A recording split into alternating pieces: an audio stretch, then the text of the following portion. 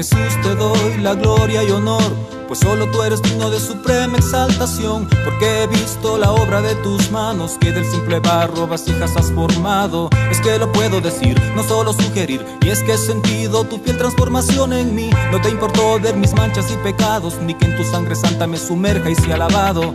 Me he recostado en tus brazos, Señor, y por primera vez he sentido ese perfecto amor, amor imperecible que ha llenado mi existencia, dejando atrás esa vida en decadencia.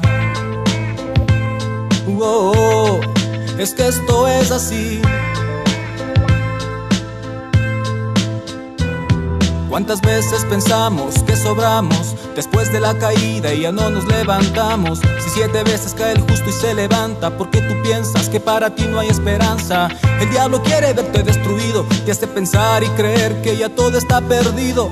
Él obviamente tratará de detenerte usando cualquier cosa y disfrazándose aún de gente. No lo puedes negar, estás librando la batalla, pero debes confiar. Jesucristo no falla. Ninguna arma forjada contra ti prosperará pues tienes al maestro y con su espíritu él vencerá.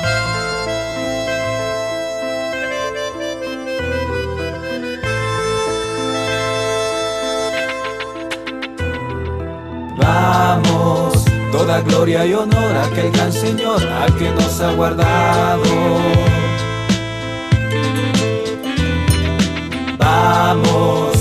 Alabanza y poder a Jesús el Rey, al que nos ha salvado. Vamos, toda gloria y honor a aquel gran Señor, al que nos ha guardado.